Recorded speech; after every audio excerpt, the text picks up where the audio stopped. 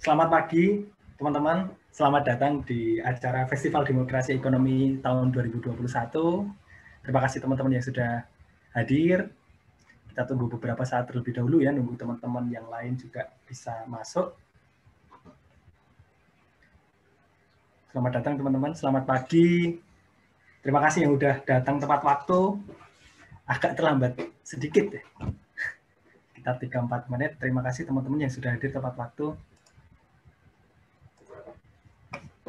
Ya kita masih nunggu teman-teman yang ada di waiting room yang baru masuk satu persatu ya.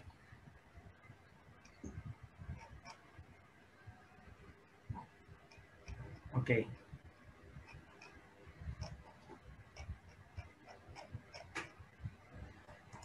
Oke, sepertinya udah udah mulai masuk nanti biar jangan nyusul. Selamat pagi Mbak Kemala, Mbak Kemala Hatta, ada Pak Robi Tulus ya senior-senior. Selamat malam di sana, Mas. Oh iya, selamat malam. Selamat pagi. Selamat pagi di sana. Ya, selamat okay. malam, Pak Mari saya mulai acaranya ya. Sebelumnya perkenalkan, nama saya M. Bima Lubdika. Uh, saya salah satu co-founder dari Gapatma yang hari ini akan menjadi MC, namun nanti akan juga bergantian dengan MC Nalubdika yang juga salah satu co-founder Gapatma, karena nanti kita selang-seling ada mengisi acara dan juga ada menjadi MC. Untuk yang pertama ini, izin saya akan menjadi MC terlebih dahulu untuk membuka, menyambut teman-teman yang sudah hadir. Selamat datang kepada para peserta FDE 2021 dan juga perwakilan lembaga dan juga seluruh pengisi acara yang sudah hadir di Festival Demokrasi Ekonomi 2021 atau kami singkat FDE 2021. Sebuah festival FDE itu adalah sebuah festival online pertama bertema demokrasi ekonomi. Demokrasi ekonomi sendiri merupakan cita-cita yang sudah terpatri dalam Undang-Undang Dasar 1945 pasal 33 ayat 4. Nah, uh, namun rasanya walaupun sudah terpatri di Undang-Undang Dasar, demokrasi ekonomi belum menjadi wacana arus utama agenda ekonomi di Indonesia. Nah, oleh karena itu, di tahun ini uh, diselenggarakan Festival Demokrasi Ekonomi 2021 dengan tema menyalakan kembali mimpi demokrasi ekonomi. Rangkaian acara Festival Demokrasi Ekonomi ini ada tiga hari dan juga dua pre-event. Tiga hari ini dimulai hari ini tanggal 10 hingga tanggal 12 nanti, di mana tanggal 12 Juli bertepatan dengan Hari Koperasi. Di tiga hari tersebut, tanggal 10, 11, dan 12 Juli akan ada 12 mata acara utama, yaitu dua pidato kunci di awal dan juga di akhir, lalu 10 sesi diskusi dengan berbagai tema yang spesifik seputar demokrasi ekonomi. Lalu pre-event berupa lomba blog dan video dengan tema demokrasi ekonomi juga sudah terlaksana, sudah pula ditentukan pemenang lombanya. Dan teman-teman nanti akan melihat tulisan teman-teman dan juga kreativitas teman-teman membuat video di hari kedua nanti. Kami akan undang teman-teman yang uh, membuat video dan juga membuat blog gitu, terutama pemenangnya juara 1 2 3. Selanjutnya, uh, ucapan terima kasih saya izin share screen.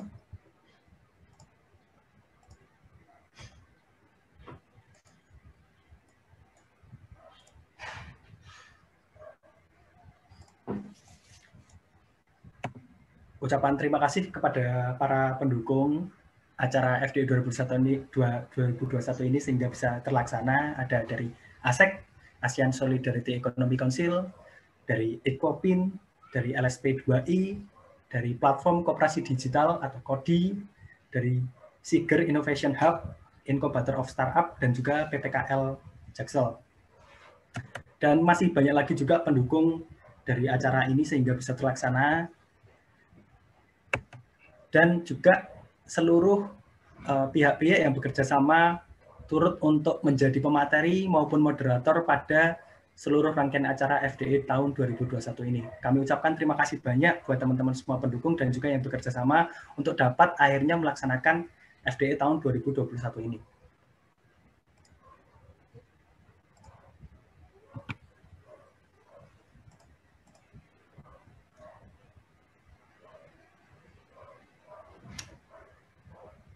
Nah, acara ini juga dapat terlaksana berkat kerjasama banyak sekali lembaga ya yang berkenan untuk mendukung dan juga menjadi pemateri dan moderator daripada setiap sesi yang ada.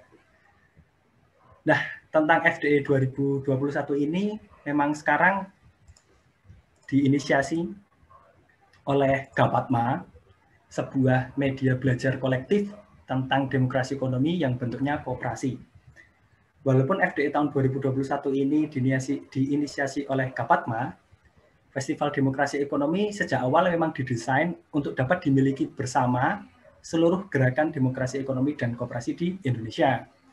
Oleh, oleh karena itu, kami berharap di tahun-tahun berikutnya, FDI tahun 2022, tahun 2023, dan seterusnya, penyelenggaraan FDI ini dapat dikonsep bersama-sama dengan lebih awal, lebih partisipatif, dan juga tentunya lebih demokratis gitu. Sehingga sejak awal emang desain dari Festival Demokrasi Ekonomi ini dimiliki oleh seluruh gerakan kooperasi dan juga demokrasi ekonomi di Indonesia. Nah, kembali lagi ke FDE tahun 2021, kita langsung saja di acara yang pertama, yaitu sambutan dari Ketua Panitia FDE tahun 2021, MC, oleh MC Nalubdika, salah satu co-founder Gapatma, yang nanti akan dilanjutkan ke mata acara pertama, yaitu pembukaan oleh Bapak oleh pembukaan yaitu pidato kunci oleh Bapak Suroto, yaitu Ketua Akses dan juga CEO Inkur, dan itu juga akan dipandu oleh MC Nalubdika. Oke, uh, untuk Saudara Senalubdika, apakah sudah siap? Siap. Oke, silahkan untuk sambutan Ketua Panitia dan dilanjutkan oleh mata acara pertama yaitu pembukaan pidato kunci oleh Bapak Suroto. Terima kasih Mas Bima. Ya. Pertama-tama selamat datang buat semua peserta. Terima kasih atas kesediaannya buat bergabung di acara ini. Di sini ya penawar saya M. Senalubdika, co-founder Gapatma, dan di posisi ini sebagai Ketua Panitia Festival Demokrasi Ekonomi 2021 mungkin sebenarnya ketua ini rada lucu ya karena panitianya juga cuma berdua sebenarnya. Dan maksudnya panitia utamanya dua yang lain eh, banyak pendukung dari berbagai macam organisasi yang sudah disampaikan oleh Mas Bima. Ya, saya ketua Mas Bima wakil ketua panitianya. Mungkin cerita sedikit kenapa acara ini eh, muncul ya.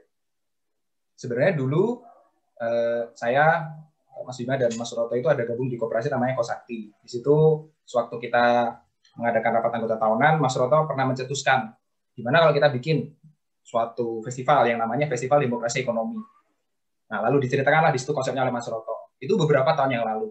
Dan buat saya tuh cukup terngiang-ngiang dan kok iya ya belum ada gitu. Padahal tadi seperti Mas Bima sampaikan, demokrasi ekonomi itu seharusnya menjadi sesuatu yang bisa terwujud di Indonesia karena sudah disiapkan landasannya oleh para founding fathers. Termasuk salah satunya Bung Hatta. Nah, di situ ya mimpi itu tersimpan beberapa lama. Lalu ketika kita melihat ya situasi pandemi dan segala macam yang semakin menonjolkan bahwa perlu nih kita segera wujudkan gitu demokrasi ekonomi. Di situ ya saya coba ngobrol dengan teman-teman Dapatma. Di mana Dapatma itu ya sebenarnya bukan cuma saya sama Mas Bima ya. Ada tiga kawan-kawan co-founder lagi yaitu Mas Bimo Aryo ada Kurniawan Adi dan Fikri Akbar. Tapi karena saya dan sedang ada kesibukan jadi untuk FDA ini panitianya di saya Mas Bima. Nah di situ saya lalu ngajak ngobrol Mas Suroto, Mbak Hera Hardianti dari LSP2I dan Ikopin, dan Pak Robi dari ya inisiator akses maupun Inkur. Ya kita ceritakan konsep kita bahwa perlu nih ada suatu festival atau tahunan, inspirasinya juga dari buku Membangun Koperasi, Koperasi Membangun, yang isinya pidato Bung Hatta tiap tahun tentang koperasi ya di hari koperasi. Di tahun waktu itu pidatonya tuh tahun 50-an kalau tidak salah. Beberapa kali saya di situ melihat bahwa tiap tahun itu operasi meningkat gitu. Baik simpanannya, baik anggotanya, segala macam. Jadi, oh seru nih kalau ada momen di mana kita tiap tahun bisa saling melihat ke belakang, review kayak gimana progres kita untuk dalam konteks gerakan kooperasi ke depan. Jadi ya kita coba 2021. Ngomong angkanya enak ya, 2021. Jadi ada ini acara ke satu. Nanti tahun depan 2022. Gampang ingatnya. Sehingga waktu harapannya ya, nanti waktu acara ke-25 yaitu 2045 yaitu sudah pas momen 100 tahun Indonesia merdeka. Kita lihat nanti FDE 25 seperti apa atau mungkin format namanya udah berbeda lagi bebas gitu. Seperti yang Mas Bima sampaikan, tahun ini memang Gapatma menjadi motor lokomotif, tapi tahun depan dan berikut berikutnya ini harusnya menjadi harapannya bisa menjadi milik kita bersama. Begitu. Ya sekali lagi terima kasih pada semua peserta, pendukung, mitra yang membantu dengan berbagai macam cara ya. Ada dengan finansial, ada dengan membantu promosi, ada dengan membantu uh, mematangkan konsep berbagai macam. Ini tidak mungkin terjadi hanya kalau dengan panitia inti saja gitu. Tetap semuanya uh, menjadi bagian dari terselenggaranya acara ini. Paling itu saja pembukaannya dari saya. Lalu kita lanjut ke mata acara berikutnya. Di sini saya akan berlaku sebagai moderator, jadi agak berubah sedikit ya. Tadi kan pemateri atau pengisi acara. Di sini sudah hadir Mas Suroto untuk menyampaikan pidato kunci untuk membakar semangat kita selama tiga hari ke depan. Memang kalau yang sudah kenal Mas Suroto, kalau saya pakai kata-kata membakar harusnya tidak heran. Ya. Memang seperti itulah, gitu ya. cocok gitu ya. Bahkan saya sempat pas bilang ke Pak Robi gitu, Pak Robi pembukaannya dari Mas Suroto dulu, wah cocok pas. Gitu. Ngegas di depan gitu ya kira-kira. Sebagai Ketua Akses dan CEO Inkur, di sini akan menyampaikan materi untuk kita semua. Sudah hadir. Halo Mas Suroto. Halo, selamat pagi Mas Sena. Pagi Mas Suroto. Gimana mas kabarnya? Sehat? Sehat. Ya, selamat pagi uh, Bapak Ibu semua ada Pak Robi, ada Bu Kemala Hatta tadi. Mas ya. Oke. Sudah hadir, oh ya ada juga Bu Kemala Hatta, Pak Robi. Selamat datang semuanya. Siap. Mas Roto mau langsung masuk ke slide, saya siapkan kalau mau ah, okay. ada pembukaan dulu. Saya kira langsung juga nggak apa-apa supaya kita bisa hemat waktu, teman-teman juga nanti bisa berinteraksi secara uh, lebih dialektis gitu. Jadi ini bukan pidato monolog gitu. Jadi kesannya kok kayak waduh. ya kalau gitu mau langsung ya. misalnya mau langsung masuk mas, saya mungkin ada intro sedikit, ada tools yang perlu teman-teman ketahui namanya Slido. Jadi ini karena kita pengennya interaktif, ada link yang kita akan share ke chat untuk menyampaikan pertanyaan ya. Jadi ini tuh pertanyaan dan vote pertanyaan. Linknya bisa cek di chat. Jadi ini kawan-kawan kalau buka link tersebut, itu tuh ada satu halaman di mana teman-teman bisa ngisi pertanyaan. Atau kalaupun nggak belum kepikiran mau tanya apa, bisa nge-like pertanyaan temennya yang lain. Kita kan sering kayak gitu ya. Jadi, wah belum kepikiran mau tanya apa. Tapi ada orang nanya, oh bagus nih, saya like saja lah. Jadi paling atas. Nanti kita akan ambil pertanyaan dari yang paling atas. Ya kita kan ceritanya demokrasi ya. Jadi voting tertinggi kita kasih privilege duluan gitu. Jadi mohon segera kalau ada pertanyaan langsung isikan di sana karena kalau ngisi duluan berarti kemungkinan buat di like temennya lebih besar. Gitu. Nanti kita akan remind beberapa kali setelah acara. Paling itu saja, Mas Roto. Saya buka slide-nya. Selamat pagi, selamat malam untuk Pak Robi Tulus. Spesial sekali ini. Bapak Ibu sekalian, saya senang sekali bisa uh, berkenalan dan bersilaturahmi pada kesempatan yang baik ini. Nama saya Suroto, saya uh, aktif di satu organisasi namanya Asosiasi Kader Sosioekonomi Strategis. Ini semacam lembaga think tank kolektif tadi ya seperti kelompok epistemik juga seperti Gapat Maini gitu loh. Jadi eh, apa saya senang sekali ada anak muda uh, yang apa terus kemudian sangat peduli sekali seperti Mas Sena dan Mas Bima yang uh, menjadi host hari ini. Dan uh, tentunya ini suatu inisiasi yang luar biasa. Menurut saya kenapa? Karena isu penting demokrasi ekonomi ini adalah isu yang tertinggal di buritan. Jadi eh, demokrasi hari ini pun yaitu demokrasi yang eh, berubah menjadi eh, sangat prosedural bukan demokrasi substansial ini tentunya juga menjadi satu problem ketika demokrasi kita maknai di dalam kehidupan berbangsa dan bernegara. Dan saya berharap dengan adanya demokrasi dan isu demokratisasi ekonomi ke depan ini seperti harapan panitia tadi juga Mas Bima dan Mas Sena sampaikan eh, kita bisa betul-betul mendapat satu eh, apa satu genuinitas atau keaslian dari demokrasi itu di dalam kehidupan berbangsa kita gitu. Dan eh, tentunya saya senang sekali bisa terlibat langsung dan ke depan saya kira secara kelembagaan kami akan berkomitmen eh, secara partisipatorik mungkin pembicaraan-pembicaraan yang lebih teknis dan sebagainya bisa dibahas lebih jauh-jauh lebih hari. Eh, maksud saya eh, lebih lama lagi perencanaannya dan sebagainya seperti yang eh, tadi Mas eh, Sena dan Bima katakan. Dan eh, bagi saya ini satu yang mengharukan karena belum ada festival seperti ini dan padahal ini adalah isu strategis yang berada di dalam eh, eh, sistem ekonomi konstitusi kita. Demikian dan eh, mungkin bisa masuk ke slide kedua. Bapak Ibu sekalian, saya sedikit agak teoritis di sini karena apa? Karena eh, tentunya eh, penting sekali kita pahami sebenarnya eh, makna dari demokrasi ekonomi itu apa? Demokrasi ekonomi adalah suatu sistem yang memungkinkan bagi setiap orang untuk memiliki hak setara dalam proses partisipasi aktif dalam aktivitas produksi, distribusi maupun konsumsi. Dan ini eh, juga dipertegas sebetulnya di dalam eh, Undang-Undang Dasar 45 yang dirumuskan terutama oleh Bung Hatta sendiri. Bung Hatta sendiri mengatakan secara serius Eh, dan eh, eh, beliau mengatakan bahwa pasal 33 itu adalah di tangan saya sendiri. Artinya keabsahan dari substansi pasal 33 itu kita juga harus banyak merujuk kepada pandangan-pandangan Bung Hatta, terutama di dalam tulisan-tulisan atau buku dan sebagainya. Yang tadi juga sudah salah satunya disebutkan ada buku Bung Hatta tentang uh, koperasi membangun membangun koperasi. Tapi banyak sekali tema-tema eh, demokrasi dan juga demokrasi ekonomi yang eh, juga eh, eh, persoalan-persoalan kebangsaan yang lain tentunya yang ditulis oleh Bung Hatta. Dan bahkan LP3ES itu sedang eh, juga membuat acara rentetan acara eh, menjelang eh, Hari Koperasi juga. Tapi sekaligus eh, memperingati hari ulang tahun LP3ES itu membedah pemikiran Bung Hatta. Di mana ada buku serial yang juga diterbitkan oleh LP3 secara serius dengan uh, tim yang uh, tentunya uh, valid karena uh, kalau tidak salah diketuai oleh Profesor Emil Salim di dalamnya ada dari uh, uh, di dalamnya timnya juga ada Profesor Sri Edi Swasono dan sebagainya.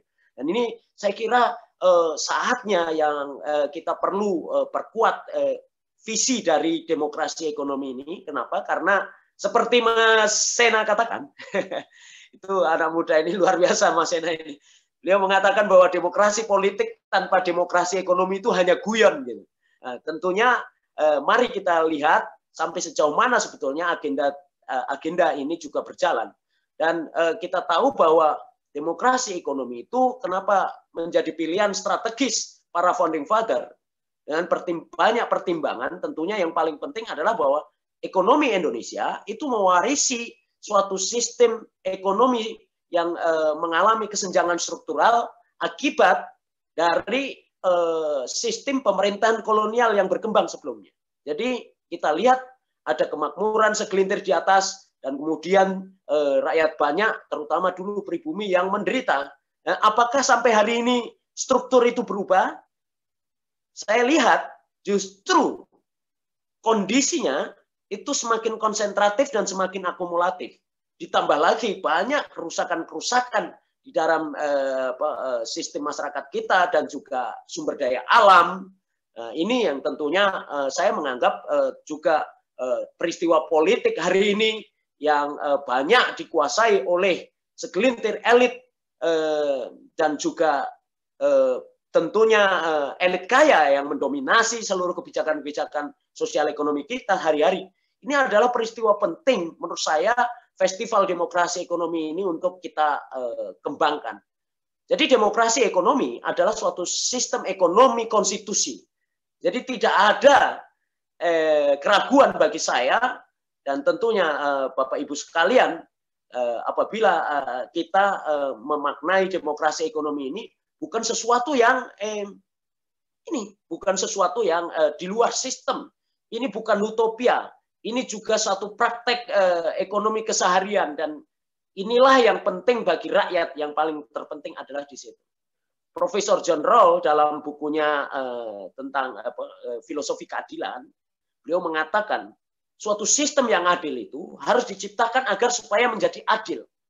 Jadi begitu kita memaknai pasal 33 Undang-Undang Dasar 45 ayat 1 yang juga belum dihapus, tapi penjelasannya semua sudah dihapus oleh amandemen Undang-Undang Dasar 45 oleh eh, MPR pada sidang istimewa tahun 2000, 2003 eh, itu disebutkan bahwa perekonomian disusun. Jadi perekonomian kita itu maknanya harus disusun.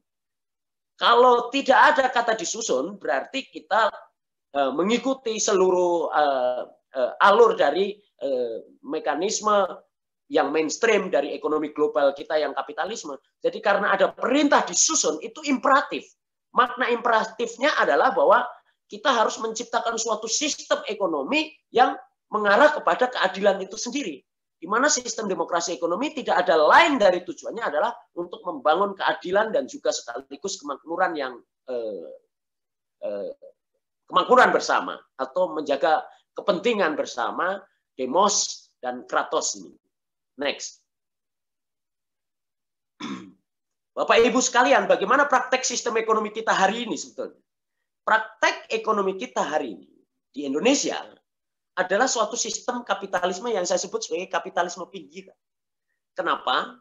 Jadi pandangan Wallenstein, Profesor Wallenstein, itu eh, kapitalisme itu disusun eh, sedemikian rupa dan uh, di mana ada satu sentrum kapitalisme dan kemudian ada yang uh, sifatnya pinggiran. Nah, sentrumnya itu adalah negara-negara maju di mana banyak uh, multinational corporation sebagai uh, lembaga uh, sahih dari uh, uh, sistem kapitalisme itu sendiri didukung dengan banyak organisasi-organisasi multinasional dan multilateral uh, yang uh, menjadi kaki tangan dari uh, sistem uh, berjalannya uh, hubungan patron uh, patron uh, hubungan ketergantungan antara kapitalis sentrum dan kapitalis pinggiran ini. Dan celakanya adalah Indonesia ini sebagai negara yang uh, muda dan juga tentunya sekarang sudah tua karena sudah menjelang 75 tahun.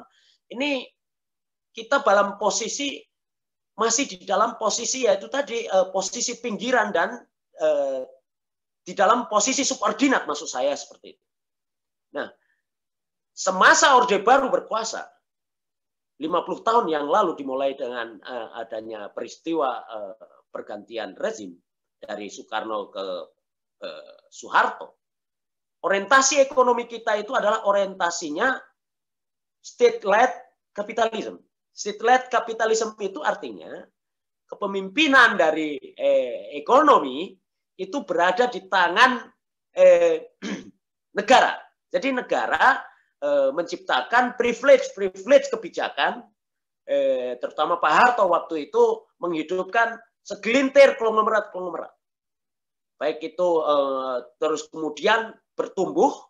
Nah, ke arah mana sebetulnya eh, eh, sistem kebijakan Orde Baru waktu itu adalah bagaimana mencapai pertumbuhan ekonomi dengan stabilitas politik yang di apa, yang dijaga melalui sistem militerisme, kemudian eh, ditambah lagi dengan eh, adanya tentunya eh, eh, apa, patron claim, sistem patron claim antara elit kaya dan elit politik ini. Dan elit politik itu komandonya jelas dulu adalah ada di tangan Pak Harto dan ini merupakan eh, satu sistem eh, autokrasi ya jadi semua kekuasaan mengalir dari kekuasaan uh, state atau uh, presiden. Yang bahkan kita lihat banyak sekali keputusan-keputusan atau kebijakan-kebijakan yang uh, itu melebihi dari undang-undang itu sendiri. Sehingga masyarakat atau civil society dalam posisi yang uh, tersubordinat dan kemudian uh, akhirnya menghasilkan sistem ekonomi juga yang senjang, kesenjangan yang terjadi juga uh, tentunya kalau eh, dilihat dari eh, yang sering diekspos oleh pemerintah hari ini adalah kesenjangan ekonomi basisnya adalah Gini rasio pendapatan tapi basisnya adalah spending atau konsumsinya itu zaman Pak Harto itu sampai terakhir itu eh, hanya 0,30 itu hampir sama dengan negara-negara Skandinavia. Tapi eh, sekarang itu 0,38 itu dari spending eh, konsumsi ya.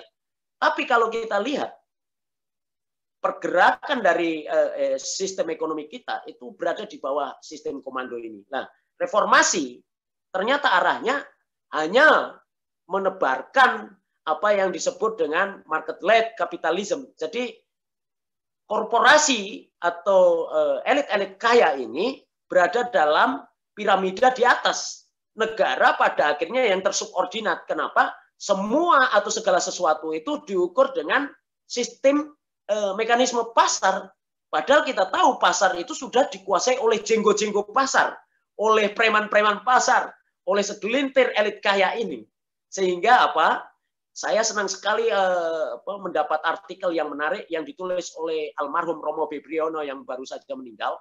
Itu beliau uh, mengatakan bahwa di dalam suatu sistem triangle system eh, uh, civil society, negara dan pasar, itu seharusnya terjadi titik keseimbangan.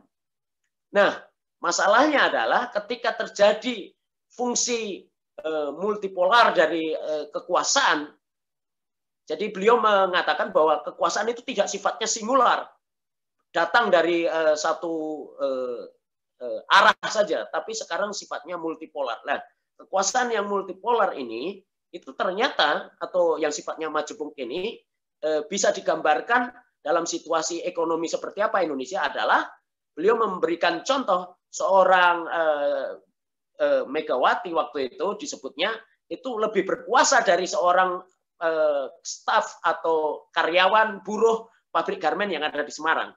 Tapi apakah Megawati uh, misalnya uh, lebih berkuasa dari James Riyadi disebut seperti itu? Mungkin bisa dikatakan sekarang apakah seorang Jokowi itu bisa lebih kuasa dari Sofyan Manandi atau yang lain misalnya seperti itu. Nah, ini adalah orientasi market led kapitalisme di mana mekanisme pasar sudah dikuasai oleh uh, kekuatan yang uh, multipolar tapi uh, tentunya subordinasinya adalah kita bisa lihat um, degradasi yang ada di dalam struktur apa di dalam aktor-aktor uh, uh, kenegaraan kita misalnya organisasi politik organisasi bisnis uh, organisasi sosial sekarang dalam posisi tersubordinasi kepada kepentingan pasar ini, pasar yang kapitalistik ini. Nah, maka dari itu saya uh, melihat uh, ini problem. Tapi lalu perjalanan inilah yang membuat saya juga refleksi ke dalam apakah yang terjadi hari ini itu sebetulnya uh, merupakan kehendak demokrasi. Ketika saya pelajari, ternyata dari buku Babon yang ditulis oleh Tagifel, yaitu uh, beliau ini uh, adalah seorang calon hakim yang kemudian mengamati uh, praktek demokrasi uh, di Amerika, lalu beliau menulis demokra uh, satu buku babon pertama kali, yaitu bukunya itu diberi judul Demokrasi, uh, in Amerika. Dan nyata-nyata sekali beliau juga membuat sitiran yang menarik uh, dari kesimpulannya uh, dari buku tersebut juga. Beliau mengatakan bahwa hati-hati dengan demokrasi. Kenapa? Karena demokrasi itu bisa membelokkan eh, pikiran atau otak seorang intelektual sekalipun secara lembut ke kanan maupun ke kiri. Nah, dasar itulah yang kemudian saya jadikan eh, jurusan untuk saya menelisik lebih jauh eh, apa itu sebetulnya demokrasi ini. Dan kemudian ketika saya temukan banyak tulisan-tulisan pendiri Republik ini, terutama Bung Hatta, terus kemudian eh, Soekarno, bahkan eh, uh, Tan Malaka, terus kemudian uh, pidato Tan Malaka ini bahkan yang mempengaruhi tulisan-tulisan Bung Hatta dan Bung Karno juga, dan juga Syahrir dan lain-lain, tokoh-tokoh pendiri Republik kita, itu semua hampir kompak termasuk uh, uh, uh, apa yang juga uh, di, ditulis oleh uh, Bapak Guru Bangsa kita H.W.S. Cokraminoto. Jadi demokrasi politik tanpa demokrasi ekonomi dikatakan oleh Bung Hatta itu adalah suatu uh, yang akan lahir adalah sistem autokrasi. Nah, Next, slide selanjutnya. Autokrasi hari ini sebetulnya dalam bentuk apa? Saya memberikan nama baru, autokrasi hari ini. Autokrasi itu adalah sistem yang mengalir kekuasaannya adalah terpusat dari eh, dari satu sumber, kemudian mengalir ke bawah, mengeras bersama birokrasi. Itu orang mengatakan sekarang ini ditambah dengan feodalisme dan birokrasi serta uh, sistem autokrasi ini menjadi sistem patrimoni. Tapi saya menyebutnya adalah plutogarki. Plutogarki ini apa? Adalah kawin silang antara plutokrasi dan oligarki. Oligarki adalah kuasa elit politik dan plutokrasi itu adalah kuasa ada di tangan elit kaya. Nah, hari ini kenapa saya menyebutkan eh, ini sebagai plutogarki? Karena ini sistemnya sudah sublim. Mereka ini sudah kawin mawin antara elit politik dan elit kaya. Mereka berpatron klan, bahkan sudah kawin silang dan eh, melahirkan sesuatu yang untouchable. Hari ini orang-orang kaya itu duduk mengatur kebijakan-kebijakan eh, dan rumusan regulasi yang ada di DPR. Hasil survei dari Kompas itu lebih dari 55 persen itu adalah isinya adalah elit Bahkan sekarang tanpa malu-malu, Pak Harto mungkin masih ada malunya. Pak Harto masih bisa mengatur, hei kamu bisnis saja, kamu jangan bermain politik. Masih ada batasan-batasan seperti itu karena kuasa e, militernya. Tapi hari ini yang terjadi adalah elit-elit kaya inilah yang duduk langsung di parlemen, elit kaya inilah yang duduk di eksekutif, elit kaya inilah yang mengatur e, permainan dari semua e, urusan elektoral dan akhirnya yang bisa kita lihat hari ini adalah bahwa sistem demokrasi ekonomi itu berubah menjadi sistem eh, plutogarki. Plutogarki atau elit kaya inilah eh, yang eh, menjadikan arti penting demokrasi ekonomi itu untuk kita perjuangkan. Jadi seperti eh, kata Bung Hatta dan juga Bung Karno, Bung Karno juga mempertegas bahwa suatu sistem demokrasi genuine itu harus dilahirkan dari uh, apa, uh, demokrasi politik di satu sisi dan demokrasi ekonomi di satu sisi. Tanpa itu, maka yang lahir adalah kepalsuan dari sistem demokrasi. Nah, saya mengatakan sebetulnya plutogarki ini apa? Adalah plutogarki ini adalah suatu rezim yang anti demokrasi. Kenapa? Karena kekuasaan yang sifatnya uh, multipolar atau uh, jamak ini tidak tunggal, tidak singular. Ini uh, pada akhirnya dikuasai oleh kepentingan uh, orang kaya ini. Milton Friedman sebagai bapak dari eh, kapitalis, guru besar eh, pengajar kapitalisme ini, beliau mengatakan yang baik buat General Motor adalah yang baik buat bangsa Amerika. Nah itu juga mungkin yang baik buat eh, James Riyadi eh, dan juga apa, yang baik buat korporasi besar kapitalis yang ada di Indonesia itu adalah yang baik buat bangsa ini. Dan kita lihat praktek-prakteknya eh, ekonomi kita sampai hari ini masih seperti itu terus. Nah, laissez-faire, laissez-faire ini sebagai suatu dogma dari eh, pendorong spirit dari kapitalisme itu sendiri, di mana eh, ini adalah satu eh, manifestasi dari di mana kamu bisa bebas bertindak dan bebas bergerak. Inilah spirit dari kapitalisme ini muncul. Lalu yang kedua adalah adanya ekonomi Smithian. Jadi eh, Adam Smith, Adam Smith ini eh, adalah sebetulnya seorang idealis dan juga moralis. Ada buku beliau Moral Sentiment eh, dan ini eh, adalah dasar dari ekonomi itu juga harusnya berbasis nilai. Tapi ada yang menarik lagi adalah di dalam an equary the wealth of nation-nya beliau yang bicara tentang arti dari ekonomi invisible hand. Invisible hand itu artinya bahwa beliau punya idealita karena beliau ini seorang filsuf, maka punya idealita bahwa harusnya pasar itu tanpa intervensi negara sehingga dia ber, bisa bergerak e, mengikuti mekanisme pasar yaitu antara mekanisme demand dan supply sehingga itu akan terjadi titik equilibrium atau keseimbangan yang sempurna. Tapi masalahnya adalah itu tidak ada di dalam realitas kehidupan dari sejak zaman dulu. Bahkan dari sejak zaman eh, Adam dan Hawa mungkin.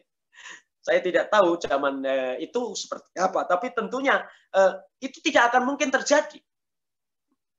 Pasar itu adalah fakta eh, kita berangkat dari satu kondisi empiris atau fakta lapangan bahwa kesenjangan yang terjadi dan kemudian penguasaan-penguasaan ekonomi oleh elit, oleh jenggo-jenggo pasar, oleh preman-preman pasar ini, ini sudah terjadi.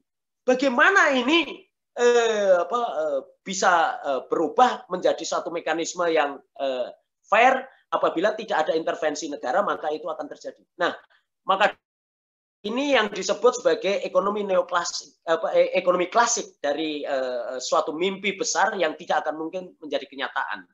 Banyak kemudian reformasi uh, terjadi dan kemudian muncul pemikiran-pemikiran pembaharu, uh, terutama kelompok-kelompok ekonomi strukturalis dan uh, juga tentunya uh, para pegiat-pegiat aktivis eh, ekonomi sosialis ini mendorong adanya satu sistem ekonomi di mana berangkat dari satu realitas. Realitasnya bahwa pasar tidak adil, kemudian baru ditarik ke arah bagaimana idealitanya. Maka dari itu kelompok sosialis ini sering disebut oleh ekonom-ekonom neoklasikal itu adalah sebagai kelompok utopis. Saya sering sekali dituduh bahwa uh, cara pandang saya itu utopis. Ketika saya kemarin sama teman-teman membentuk suatu uh, apa tolak holding ultramikro, mereka mengatakan ide kami itu utopis. Yang diinginkan rakyat sekarang ini adalah akses kredit. Yang namanya menempatkan manusia lebih tinggi dari modal itu utopia. Inilah pandangan-pandangan yang uh, apa, uh, keliru, tapi ini sebenarnya tidak berangkat dari pandangan uh, Adam Smith sendiri. Karena Adam Smith itu hanya menjadi seorang pemimpi. Beliau adalah uh, perumus dari filosofi dasar uh, pasar persaingan sempurna itu yang tidak mungkin terjadi di dunia. Next. Nah, bagaimana impact dari eh, praktek eh, market lead kapitalisme hari ini, di mana eh, kekuasa-kuasa negara sudah terpreteli habis, lalu eh, kemudian eh, kuasa negara ini eh, kita lihat di amandemen Undang-Undang Dasar 45 juga Eh, keputusan moneter itu juga sudah terpisah dari institusi yang terpisah bahkan dari pemerintah Indonesia. Nah, artinya pemerintah Indonesia itu ada pemerintah pusat dan pemerintah daerah. Sekarang itu BI menurut hasil amandemen itu sudah lembaga yang terpisah sehingga tidak bisa diintervensi. Undang-undang BI yang mengatakan tanggung jawabnya adalah menjaga rupiah, hanya rupiah saja, tidak ada tanggung jawab eh, keputusan-keputusan ekonomi makro yang lain seperti pengangguran dan lain dan lain sebagainya itu adalah konsekuensi dari sistem market led kapitalisme, market led kapitalisme ini. Dan hari ini apa yang terjadi? 82 persen orang dewasa di Indonesia, 82 persen itu berarti kurang lebih orang dewasanya itu 180-an eh, juta. Hanya punya aset di bawah 150 juta atau 10 ribu US dollar. Dunia rata-rata itu 58 persen, jadi jauh sekali eh, apa kemiskinannya itu apa, cer, apa eh, kedalaman kemiskinannya dibandingkan dengan rata-rata dunia. Terus data lagi dari Swiss Credit, ini merupakan riset dari Swiss Credit, maaf saya eh, lupa memention di situ. 1,1 persen memiliki aset di atas 1,5 miliar. Orang kaya di Indonesia yang punya kekayaan lebih dari satu setengah miliar. Kalau Anda masuk di dalamnya aset kepemilikan Anda itu satu setengah miliar, Anda masuk dari jumlah 1,1 persen ini. Dan ini jauh sekali bila mana kita bandingkan dengan rata-rata dunia adalah yang 10,6 persen. Artinya ini gelembung kekayaan di Indonesia ini dibandingkan mereka rakyat yang banyak ini, ini sudah sangat keterlaluan. Di di bawah keburukannya itu di bawah rata-rata dunia dan angkanya sangat eh, besar sekali. Rasio Gini kekayaan kita itu 0,83 dan satu persen kuasai kekayaan dan ini merupakan kekayaan yang non tanah saja, itu 45% dari kekayaan nasional. Anda bisa bayangkan, bahkan disokong oleh eh, beberapa riset, itu kekayaan empat anggota keluarga itu sama dengan 100 juta rakyat Indonesia yang miskin. Anda bisa bayangkan bagaimana mekanisme ekonomi ini eh, bisa berjalan secara adil. Bagaimana mereka tidak bisa menguasai eh, ruang-ruang politik keputusan-keputusan eh, keputusan-keputusan penting untuk kepentingan rakyat. Kuasa mereka di atas modal inilah yang mengatur kemudian urusan-urusan eh, kehidupan kita termasuk ekonomi dan politik. Dalam bayang-bayang kita ini hari ini sebetulnya sudah dalam posisi defisit neraca pembayaran sudah lama.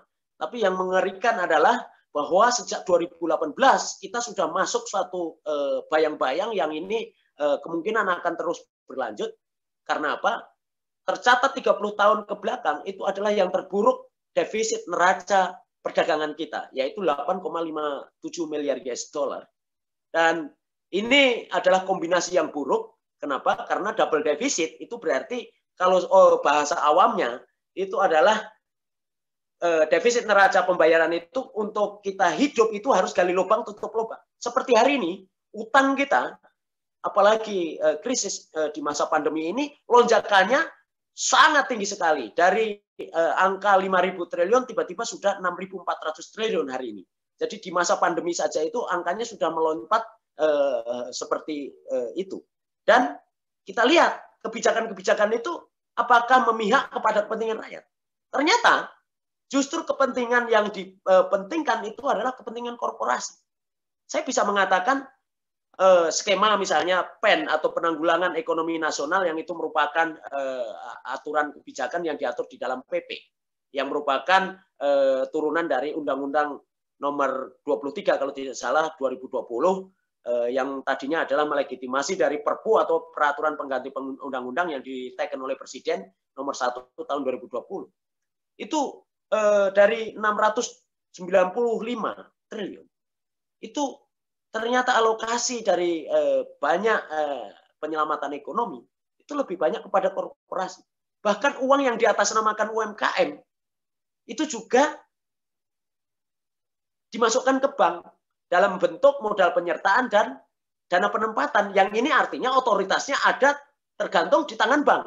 Artinya ini uang adalah uh, masuk di dalam bank. Dan ditambah lagi, uang-uang orang kaya ketika pandemi ini meningkat tajam. Sampai angkanya 14-an persen. Nah, orang-orang kaya ini bahkan diiming-iming supaya mereka mengeluarkan uangnya, melakukan spending, sampai diiming-iming adanya tax free untuk uh, kemarin PPNBM atau pajak pertambahan nilai untuk pembelian mobil dan sebagainya. Itu adalah upaya untuk menggerakkan ekonomi karena orang-orang kaya ini sudah over prudent. Dan bahkan bank sendiri hari ini outstandingnya itu turun drastis. Jadi ini adalah satu gejala bahwa kita ini dalam setiap saat terancam oleh satu sistem ekonomi yang kebijakan-kebijakannya itu menutup kemungkinan untuk rakyat banyak ini bisa mendapatkan sovereignty atau kedaulatan. Nah, yang ke selanjutnya adalah bonus demografi. Ini apakah akan eh, kita nikmati sebagai satu berkah ataukah musibah? Bonus demografi hari ini digambarkan oleh eh, pergerakan jumlah penduduk anak-anak muda yang produktif ini di angka umur produktifnya itu semakin banyak. Suatu saat akan mencapai titik fixation-nya adalah tahun 2030 di mana struktur penduduk kita itu diperkirakan kurang lebih 70% adalah isinya anak-anak muda. Dan sementara negara lain sedang mengalami aging problem. Artinya eh, struktur penduduk mereka dihuni oleh orang-orang yang tidak produktif. Nah, apakah ini menjadi berkah bagi Indonesia? Menurut saya ini sangat berbahaya sekali ketika kita eh, eh, lengah. Kenapa? Hari ini kepemilikan lahan, tanah, dan sebagainya itu sangat minim sekali. Nah, ini adalah bonus demografi ini apakah menjadi ancaman ataukah eh, berkah? Mari kita lihat selanjutnya dalam eh, eh, penjelasan konstelasi ekonomi kita selanjutnya. Next. Jadi Bapak Ibu sekalian, saya ingin uh, mengurai uh, konsep demokrasi ekonomi ini sebagai konsep lawan tanding. Kenapa penting saya katakan di sini? Uh, karena kita sebetulnya berada di dalam suatu sistem jebakan pertumbuhan ekonomi konstan. Konstan ini artinya uh, di dalam sistem pertumbuhan yang uh, flat, uh, stagnan. Mari kita lihat. Jadi ekonomi kita itu sebetulnya tetap terus-menerus dikuasai oleh negara-negara uh, uh, maju melalui uh, dan juga uh, pusat dari korporat-korporat kapitalis terus-menerus ini melalui instrumen apa? Pertama adalah instrumennya utang. Bapak Ibu sekalian, Profesor Jan Timbergen, yaitu profesor ini adalah penerima Nobel pertama berkebangsaan Belanda. Pada tahun 68 beliau menerima Nobel itu, tapi tahun 80-an beliau itu mengusulkan agar kemiskinan itu uh, dihapuskan sama sekali di dunia dengan cara apa? menghapuskan utang dari negara-negara miskin dan negara-negara berkembang tersebut supaya mereka segera eh, dapat menciptakan eh, cadangan-cadangan ekonomi sendiri secara mandiri dan kemudian mereka bisa menggerakkan ekonomi mereka sesuai yang mereka keingin, eh, inginkan sendiri. Tapi proposal ini eh, dan proposal ini sangat sederhana. Hanya dengan mengalokasikan 0,2 persen dari total GDP negara-negara maju itu akan secara berangsur utang-utang itu habis. Justru eh, tentunya yang tidak setuju adalah negara-negara maju. Kenapa? Karena negara-negara maju ini menganggap bahwa utang itu sekecil apa pun adalah instrumen masuk atau pintu masuk untuk mereka menguasai ekonomi negara-negara miskin dan negara-negara maju ini. Kenapa? Karena mereka tahu bahwa setiap terjadi krisis konjunktural, krisis konjunktural itu yaitu eh, apa, sudah built-in dengan atau uh, inherent dengan sistem kapitalisme itu sendiri bahwa karena uh, overproduksi atau karena bubble ekonomi itu selalu akan muncul satu krisis konjunktural. Konjunktur itu artinya uh, uh, momennya itu naik turun tepat gitu. Atau uh, ada slump, ada peak gitu. Nah, pada masa misalnya 97 krisis ekonomi, tahun 2008 itu krisis ekonomi ditengarai krisis konjunktural ini sifatnya adalah uh, puluhan uh, 10 sampai 12 tahun. Sebetulnya kita mungkin juga tanpa pandemi kemarin itu Indonesia akan masuk di dalam sistem krisis konjunktural itu juga. Nah, ketika terjadi krisis ekonomi, itu mereka datang menambah skema utang dari uh, negara kita. Dan Indonesia, ketika Michael Kandesius sebagai direktur IMF datang secara jumawa memerintah kepada Jenderal Soeharto, yang sangat berkuasa itu eh, dan kemudian sambil tangannya mengapur rancang meminta supaya menandatangan LOI.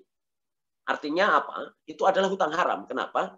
Hutang yang diambil oleh kita waktu itu hanya boleh untuk apa? Memoderasi rupiah. Padahal ini sektor eh, ekonomi realnya kan masih bisa bergerak, tapi tidak boleh dialokasikan ke situ. Semua difokuskan untuk menyelamatkan ekonomi tertier perbankan. Dan kita tahu apa yang terjadi? Dari uang kerugian negara yang terjadi secara fiskal itu adalah 640 triliun. Kalau di kurs itu menurut eh, Fitra, lembaga eh, transparansi eh, anggaran publik ini, ini tahun 2018 beliau mengatakan, eh, ketua Fitra ini mengatakan, eh, teman saya Yeni, dia mengatakan bahwa kerugiannya itu kurang lebih 2000 triliun. Itu artinya sama dengan satu kali APBN. Apa bentuknya? Adalah bailout Bailout itu adalah talangan, talangan dari fiskal kita untuk menyelamatkan bank waktu itu.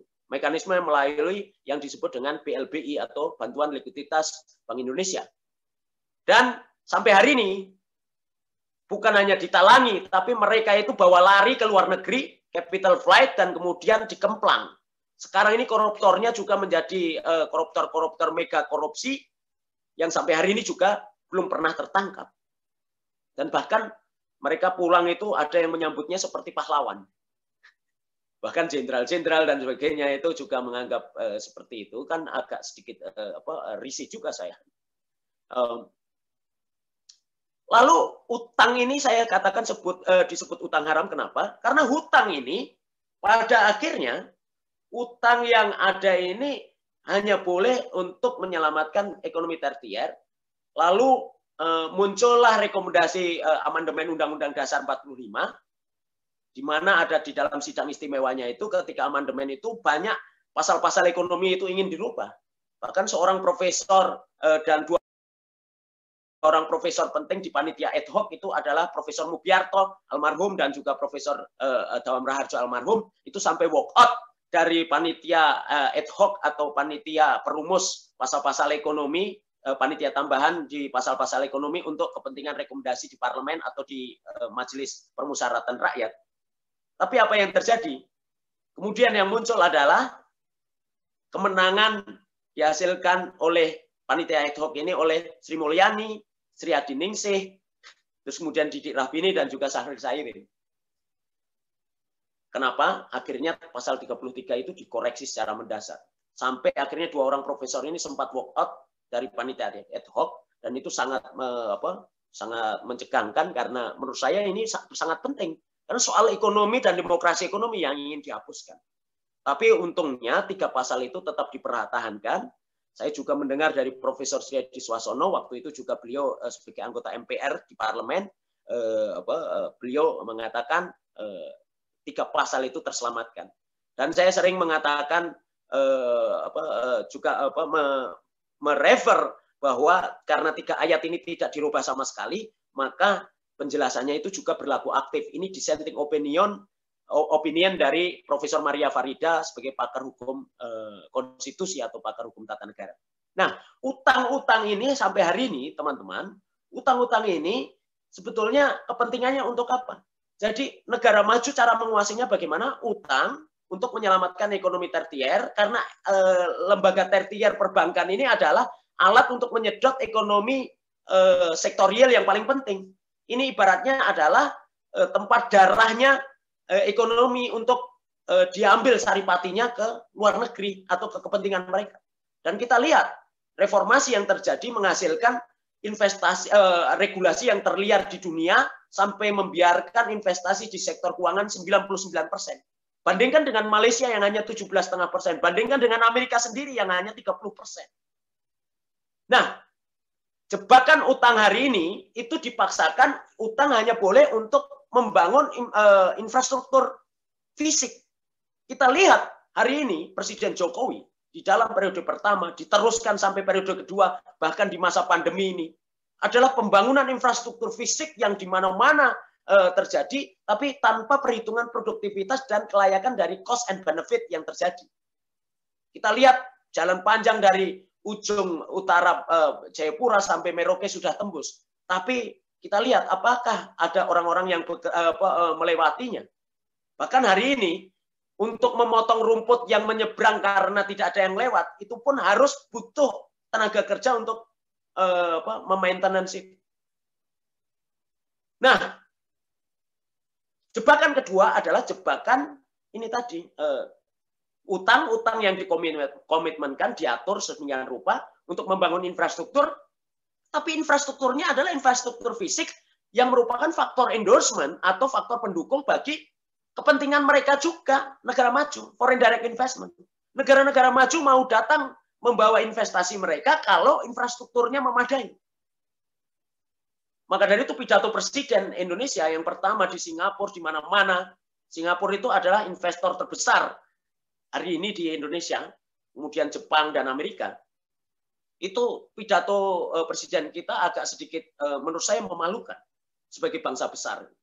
Yang diundang adalah kepentingan investasi dengan melakukan deregulasi. Dan kemudian sekarang kita lihat undang-undang cipta kerja yang eh, sebenarnya dagingnya adalah eh, untuk kepentingan memperlancar foreign direct investment ini semata-mata. Lebih banyak ada di situ fokusnya, saya lihat. Bukan penyelamatan ekonomi rakyat. Lalu eh, infrastruktur fisik ini kan mereka ini foreign direct investment ini tidak mau uh, terlalu costly untuk investasi. Makanya dibebankanlah ke fiskal kita melalui mekanisme utang. Utangnya ini sudah uh, mengandung bunga yang berarti memberikan keuntungan kepada mereka. Uh, kemudian hanya boleh untuk membangun fasilitas infrastruktur yang juga menguntungkan mereka, yang artinya mereduksi apa, pembiayaan.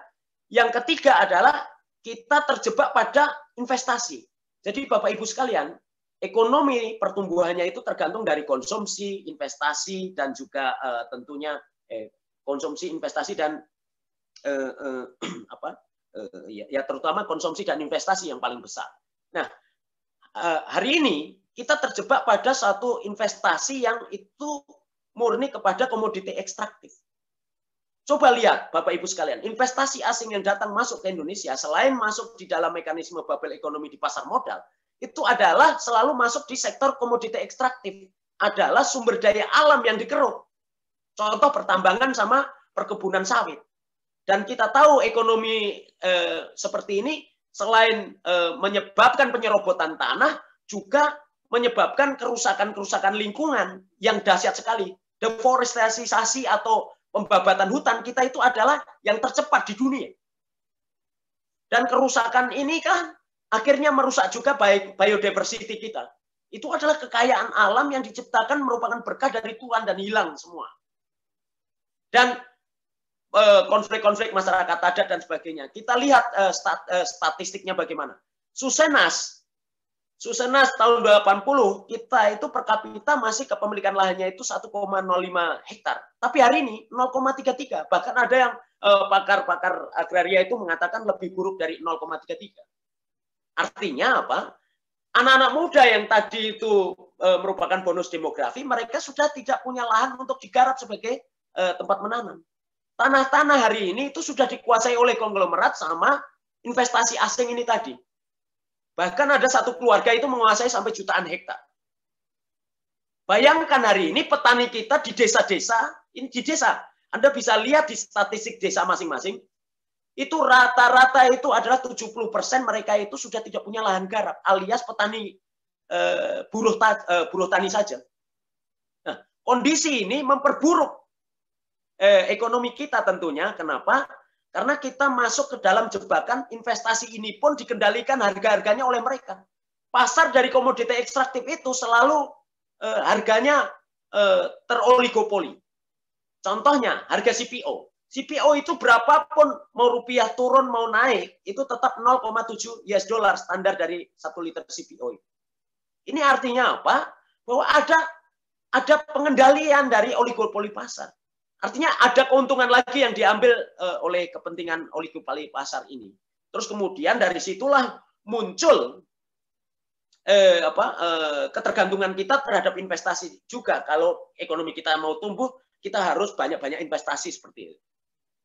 Nah, padahal janji-janji politisi kita itu selalu adalah eh, pertumbuhan ekonomi dua digit. ya walaupun tidak pernah tercapai. Eh, dari sejak zaman Orde Baru sampai hari ini belum pernah tercapai. Pak Harto hampir tercapai 10 eh, persen, yaitu 9,8 persen. Itu pun hanya satu tahun. Nah, masalah selanjutnya adalah jebakan yang saya sebut sebagai jebakan konsumsi.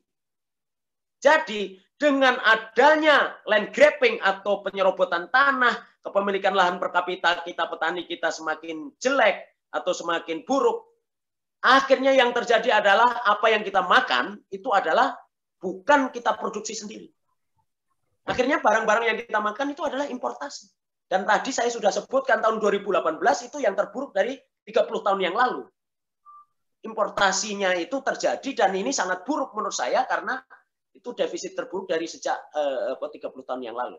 Nah, yang berbahaya adalah ketika kita sudah terjebak pada konsumsi ini yang harusnya importasi. Konsumsi yang harus diimportasi. Kenapa? Karena dengan demikian kita bukan hanya akan mengalami defisit neraca perdagangan, tapi juga tadi ya, karena utang kita defisit neraca pembayaran, defisit neraca perdagangan, defisit neraca pembayaran, ditambah lagi kalau kita itu mau mengambil keputusan-keputusan yang menguntungkan rakyat kita sendiri, itu sudah akan sulit sekali. Kenapa? Karena negara-negara yang mungkin melakukan negosiasi kerjasama, itu akan melakukan manuver politik yang paling sederhana adalah yang paling uh, sangat uh, jahat adalah dengan melakukan suspend. Contohnya adalah apa? Amerika Serikat hari ini itu ketika supply kedelainya itu tidak masuk di Indonesia dengan lancar, itu harga kedelai langsung naik. Saya biasanya beli uh, apa satu papan uh, di pasar itu satu papan uh, tempe itu harganya 5.000. Saya harus beli sekarang 9.000. Naik drastis. Kalau semua makanan yang kita makan itu seperti itu, apa yang terjadi saudara-saudara? Adalah kita selalu akan tersandra. Bayangkan kalau semua kebutuhan pokoknya itu importasi seperti itu, terus kemudian eh, apa, disuspend, itu terjadi inflasi. Inflasi yang menderita, eh, apa, kita pernah derita itu sampai 600 persen itu di zaman Soekarno. Dan itu juga ada kepentingan asingnya, kepentingan rezim dari eh, Amerika masuk untuk menguasai Indonesia waktu itu. Nah ini secara terbuka Amerika sendiri sudah membuka filenya bahwa ada uh, operasi lapangan, operasi CIA yang dibuka uh, filenya uh, 50 tahun yang itu merupakan perintah undang-undang mereka. Kan. Ini dan saudara-saudara sudah bisa lihat bahwa kenyataannya ada intervensi uh, intelijen asing uh, di dalam kepentingan penjatuhan Soekarno. Nah, kalau ini terjadi, kejatuhan Soeharto, apakah ini tidak ada intervensi asing? Saya kira sama halnya. Nah, yang paling berbahaya adalah jebakan konsumsi tadi dan dari situlah akhirnya kita masuk ke dalam triple trap ini. Jadi kita tergantung investasi asing yang merugikan, utang haram dan juga konsumsi yang merugikan atau importasi eh, yang harus kita impor tadi. Next. Dari sana Bapak Ibu sekalian, saya kira saya hanya punya waktu berapa menit lagi, Mas? 15 menit lagi, Mas. Oke, karena 15 menit saya langsung menukik kepada agenda demokratisasi ekonomi. Bapak Ibu sekalian, jadi yang terpenting eh, menurut saya adalah bagaimana demokrasi ekonomi ini menjadi agenda bersama. Dan saya menyebutnya di sini agak eh, menjadi kalimat aktif demokratisasi. Kenapa? Karena kalau saya hanya menyebut demokrasi ekonomi, nanti akan tertinggal sebagai wacana. Tapi dengan kata demokratisasi berarti ada perintah kesungguhan dari uh, rekomendasi festival ini supaya kita melaksanakan, melaksanakan upaya memperjuangkan ini. Perjuangan yang pertama harus kita lakukan adalah kita harus memperjuangkan alokasi fiskal pendapatan minimum warga negara. Kenapa ini penting? Karena warga negara itu tanggung jawabnya adalah eh, ada di tangan negara bahwa setiap warga negara tidak boleh ada yang sampai kelaparan. Hari ini, saudara-saudara, masyarakat Indonesia banyak yang jatuh lapar karena pandemi. Bukan hanya karena pandemi, sebelumnya juga manusia Indonesia itu banyak yang hanya makan itu satu satu kali satu hari. Kenapa ini bisa terjadi? Karena sistem ekonomi yang tidak adil ini. Kenapa tidak ada alokasi fiskal secara khusus yang itu merupakan hitung-hitungan eh, yang juga rasional dari total eh, eh APBN kita itu dialokasikan untuk menanggulangi ini. Kalau dalam wacana internasionalnya disebut sebagai uh, universal basic income atau uh, pendapatan uh, umum warga negara. Dan ini saya kira harus menjadi praktek dan kita harus perjuangkan terus-menerus. Kita harus membuat kajian-kajian serius, terus kemudian kita dorong kepada kita membentuk pressure-pressure group mempengaruhi opini supaya ini menjadi keputusan-keputusan politik partai-partai maupun parlemen maupun pemerintah itu sendiri. Sampai hari ini saya agak sedikit miris, selalu masyarakat kita itu uh, di apa di dalam skemanya itu disebut bansos atau bantuan sosial. Itu kemarin itu juga disebut banpres, bantuan presiden. Ini uang rakyat yang dibayar dari uh, apa uh, pajak. Kenapa menggunakan uang sendiri harus disebut bantuan? Kenapa tidak disebut sebagai alokasi fiskal? Setidak-tidaknya supaya rakyat Indonesia itu bisa beli beras semua lah. Setelah itu urusan yang lain-lain itu adalah urusan warga negara gitu. Yang kedua adalah karena kesenjangan ekonomi tadi, menurut pandangan saya harus ada satu regulasi atau kebijakan yang disebut sebagai pembagian saham. Pembagian saham itu adalah eh, skemanya disebut kalau yang sifatnya umum dipahami secara internasional itu adalah employee share ownership plan atau kepemilikan saham buruh. Jadi buruh itu harus punya saham menurut saya. Amerika Serikat yang kita tuduh kapitalis, saudara-saudara, di sana itu sudah punya undang-undang sejak tahun 1974. Dan kemudian diperkuat di dalam regulasi mereka, eh, apa, eh, keluarlah undang-undang ESOP ini yang diperkuat yang eh, di sana itu adalah tahun 1800, eh, 1984. Sudah sejak 50 tahun yang lalu, itu mereka sudah 40 tahun yang lalu itu mereka sudah punya undang-undang yang memaksakan korporasi itu supaya membagi saham. Profesor Gard dari Maryland University itu bahkan menulis satu uh, tulisan di New York Times secara provokatif, Worker Owner Unite. Kenapa? Karena di Amerika Serikat itu 13 juta pekerjanya itu pemilik dari saham perusahaan. Bahkan Bernie Sanders, kandidat presiden kemarin itu mengusulkan supaya adanya policy agar kepemilikan saham buruh itu adalah secara demokratik 51 persen. Tapi eh, itu beliau akhirnya populer di tengah eh, apa, di tengah-tengah eh, milenial, tapi tidak populer eh, eh, di tengah pikiran-pikiran orang-orang Republikan yang kita tahu mereka itu banyak disokong oleh para pemilik korporat kapitalis ini. Nah, yang kedua adalah pembatasan rasio gaji.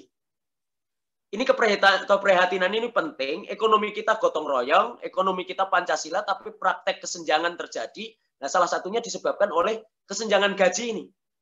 Bayangkan saudara-saudara, BUMN yang katanya perusahaan itu milik kita, tapi ada gajinya itu antara gaji karyawannya yang terendah sampai presiden direkturnya itu sampai 2.200 kali lipat.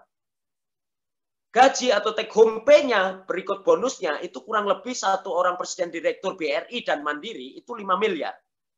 Sementara ada seorang buruh yang itu merupakan uh, office boy di kantor tersebut, gajinya hanya 3,4 juta, kemudian dipotong perusahaan outsourcing sampai 1 juta, hanya menerima 2,4 juta.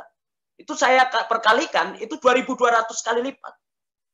Bayangkan dengan modular-modular perusahaan koperasi misalnya yang Mondragon ada di Spanyol itu. Mereka itu gajinya hanya satu banding enam kali lipat. Jadi di dalam e, bekerja pun ini menimbulkan mental slavery. Kenapa? Karena kesenjangan gaji yang sangat tinggi. Seorang office boy mungkin sudah gemeteran, bahkan dia takut e, dipecat dan juga e, apa? Karena secara e, ekonomi e, terlalu senjangnya terlalu jauh itu seperti raja bersama budak-budaknya di dalam kantor. Ini harus dihapuskan menurut saya. Inilah yang menciptakan mental slavery dari bangsa kita. Dan ini harus dikikis habis melalui satu regulasi baru yang disebut dengan pembatasan rasio gaji. Yang selanjutnya adalah reforma agraria. Kawan saya eh, Dewi Kartika itu mengatakan beliau dari eh, Sekjen eh, Konsorsium Pembaruan Agraria. Hari ini sebetulnya reforma agraria yang dilakukan oleh Presiden Jokowi itu nol Dikatakan nol karena yang terjadi adalah hanya sertifikasi. Sertifikasi itu malah justru modular yang memperlancar terjadinya eh, penyerobotan lahan tadi. Kenapa? Karena statutanya menjadi jelas. Yang harusnya dilakukan reforma agraria itu adalah meliputi tata kelola. Supaya rakyat itu jangan sampai menjual tanahnya. Supaya rakyat itu tidak terserobot tanahnya karena izin-izin eh, legal dari eh, tambang dan juga perkebunan-perkebunan itu. Yang keempat adalah operasikan BUMN dan BUMD.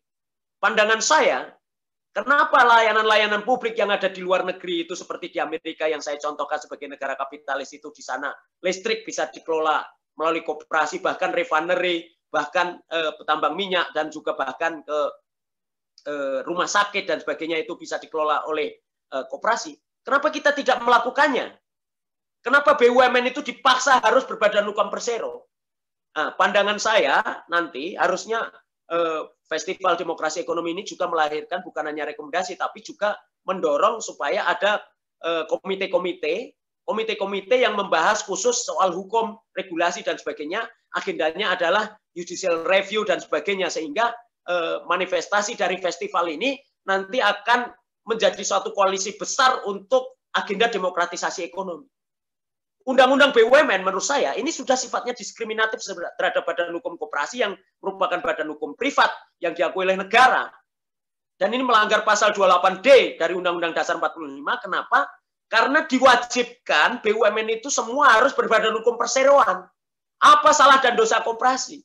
Bahkan koperasi ini disebut di undang-undang atau konstitusi kita itu sebagai bangun perusahaan yang sesuai dengan demokrasi ekonomi. Bahkan Bung Hatta secara redan dan berulang-ulang mengatakan bahwa yang saya sebut dengan ekonomi kekeluargaan itu ialah koperasi. Tidak ada disebut BUMN di Undang-Undang Dasar 45 kita. Tidak ada disebut perusahaan swasta. Yang ada adalah penguasaan oleh negara atas e, sumber daya alam, bumi, air, dan kekayaan alam untuk sebesar-besar kemakmuran rakyat. Nah, instrumen untuk supaya sebesar-besar kepentingan kemakmuran rakyat ini harusnya adalah lembaga demokrasi bangun perusahaan koperasi ini. Yang masalah adalah BUMN itu berusaha menjadi perseroan dan itu dipaksakan melalui undang-undang. Undang-undang BUMN tahun 2003 itu sudah diskriminatif dan menurut saya harus jadi rekomendasi festival ini untuk kita lakukan judicial review supaya kita bisa melihat bahwa ada public service obligation dari layanan-layanan BUMN kita ini ke depan. Tidak terjadi komersialisasi dan komodifikasi seperti yang kita lihat hari ini terhadap layanan-layanan publik. Lima menit lagi ya, Mas. Ya, yang kelima adalah hapus model kebijakan paket input. Paket input itu apa? Saudara-saudara, ekonomi neoklasikal, eh, ekonomi-ekonom kita itu selalu memberi saran bahwa untuk memerangi kemiskinan di Indonesia itu adalah dengan cara memberikan akses kredit, termasuk yang kemarin itu sekarang sudah diteken sebagai eh, PP, diteken oleh Presiden Jokowi itu PP, eh, yang terbaru adalah PP Holding Ultramikro, yang menggencet koperasi. Nah, PP ini sebetulnya e, mempertegas bahwa ekonomi kita itu hanya membicarakan rakyat miskin ini, e, terutama usaha-usaha mikro ini sebagai penerima eh, pinjaman saja, bukan menempatkan mereka sebagai subjek melalui badan hukum atau lembaga lembaga koperasi yang kemudian didesain supaya eh, bagaimana mereka ini bisa menyelesaikan persoalan eh, ekonominya.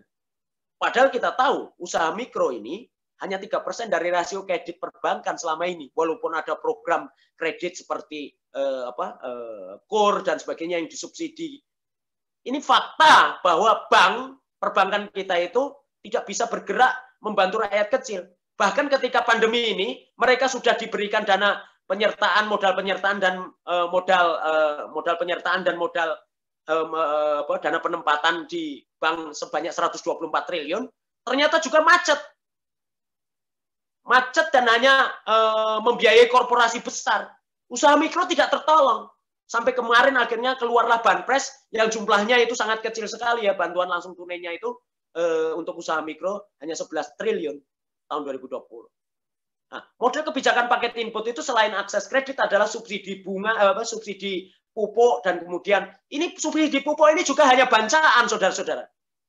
Bahkan saya lihat di lapangan polisi ikut jualan sekarang. Kenapa? Karena polisi dilibatkan dalam pengawasan uh, saluran distribusi.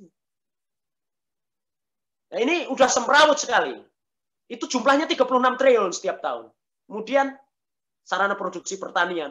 Jadi kegemaran kita menjadikan rakyat ini sebagai orientasi proyek dari pembangunan, sebagai objek dari pembangunan, bukan sebagai subjek pembangunan inilah yang akan memperlanggeng kemiskinan menurut saya.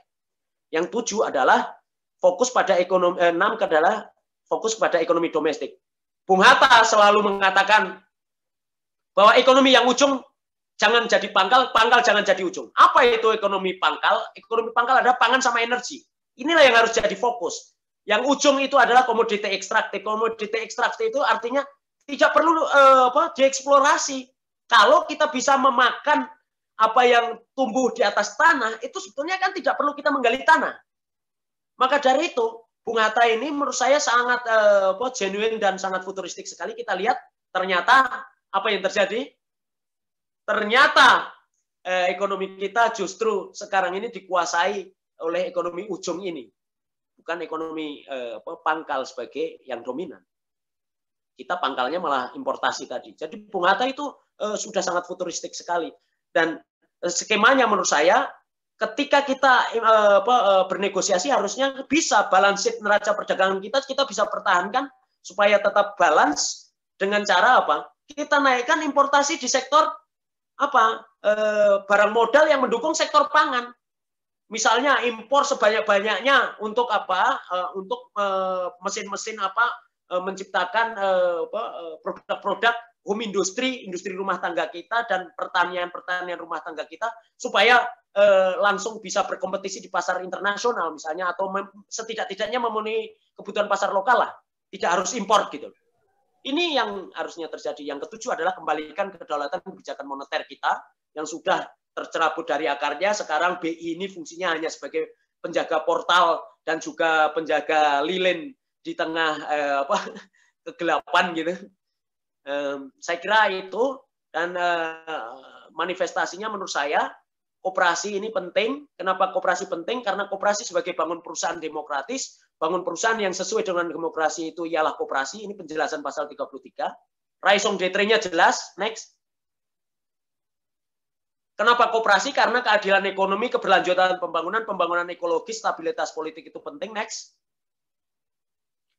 Raison d'etre dari kooperasi ini apa? Adalah kooperasi ingin menempatkan relasi sosial yang setara dan tempatkan manusia lebih tinggi dari modal. Modal hanya alas bantu dan bukan sebagai penentu seperti di dalam sistem korporat kapitalis.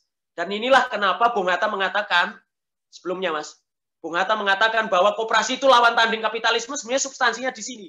Bukan soal besar kecilnya uh, unitary dari bisnis kooperasi, tapi adalah deklarasi kesetaraan ini. Dan kalau kita baca sejarahnya, sejarah organisasi modern pertama koperasi di dunia itu Rochdale itu adalah disebut sebagai Equitable Society Pioneers of Rochdale. Artinya apa? Itu bukan deklarasi badan usaha, tapi deklarasi kesetaraan manusia, Equitable Society.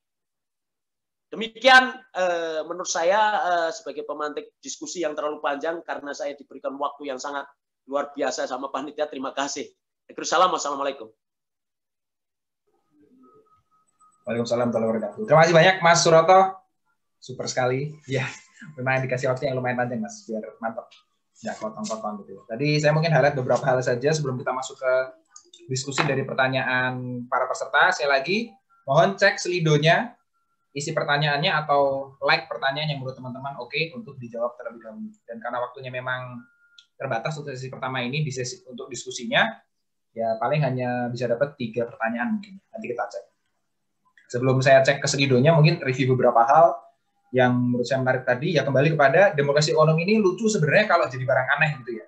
Padahal dasarnya ada, di konstitusi ada, di cita-cita pendiri bangsa ada, tapi realitanya masih jauh dari kenyataan itu gitu ya. Dengan sistem ekonomi yang ada di Indonesia sekarang. Lalu politik saja minus ekonomi itu selalu menjadi ya pesan ya. Salah satunya Bung Hatta bahwa ini akan jadi autokratik, gitu, menjadi demokrasi yang palsu. Autokrasi. Autokrasi ya, autokrasi. Lalu tadi bahkan Mas Suroto oligarki plus plutokrasi, jadi plutogarki. Mungkin teman-teman di sini juga sudah sering, yang sering dilempar itu istilah oligarkinya utamanya. Kalau yang di netizen ya Indonesia sekarang ya oligarki yang sering dikejar. Tapi Mas Suroto tekankan bahwa dua nih, oligarki iya, plutokrasi iya. Jadinya plutogarki tadi. Orang kaya dan penguasa itu saling support lah. Duduk di parlemen dan di eksekutif. Rasio gininya timpangnya ting ketimpangan tinggi, kekayaannya rendah untuk warga yang kecil, modal jadi pengendali segala. Mungkin satu lagi yang saya mau highlight di kata-kata demokratisasi. Ini ya benar kata Mas Roto ya, kita pengennya bukan cuma diskusi diskusa-diskusi ya. Sebaiknya ke depannya tuh ada aksi yang bisa dilanjutkan supaya demokrat demokrasi ekonominya terwujud gitu. Jadi digunakan pilihan diksi demokratisasi kalau Gapatma misalnya eh, apa mengajukan judicial review undang-undang BUMN itu sudah menggetarkan seluruh oligarki dan plutokrat di Indonesia. Aduh, siap mas. Kita lihat nanti untuk tahun ini kita bisa sampai mana. Tapi buat ke depan tadi ada yang satu sih mas. Jadi kayak kita juga sepakat sih kalau wacana-wacana doang itu juga capek gitu. Kayak seru kita bahas ini bahas itu.